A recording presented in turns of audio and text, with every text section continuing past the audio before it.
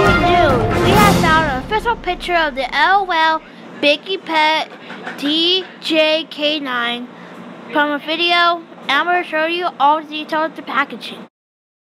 These are what the glass will look like for DJ-K9 for Biggie Pet. And you can see what some of the accessories will look like. And looks like it's going to be in a gold ball. You can kind of see some of her hair, part of her face as well. And here's a clear look of the box, up to down. Quick disclaimer, before I end this video, I'm doing a few more of my videos, just so you don't look, my channel's not as bad as the last one.